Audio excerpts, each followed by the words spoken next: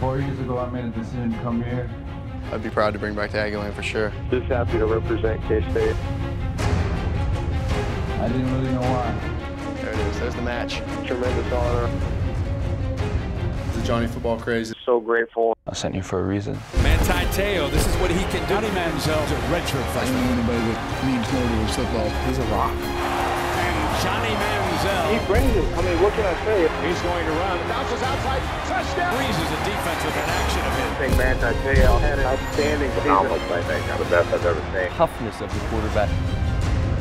I don't know if there is a better defensive football player in America. It's intercepted by Te'o. Picked off. Te'o. He's the cornerstone of the defense. He's a LeBron James of this team. He makes you elevate your game, and that's what the great ones do. If the Heisman comes along the way, I'll be happy. He's awfully good at what he does. He's going to run. Bounces outside. Touchdown, Kansas State. Collin Klein is just having a remarkable season. It's a tremendous honor. I'm happy that I'm able to represent the K-State family with an award uh, like the Heisman. Johnny Manziel. Been playing football my whole life. Boom. Manziel, Manziel scramble. Johnny football. There's no other way to describe it.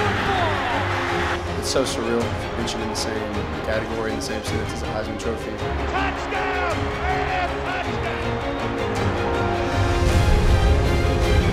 If a guy like Manti Te'o's not going to win the Heisman, they, they should just make it an offensive award.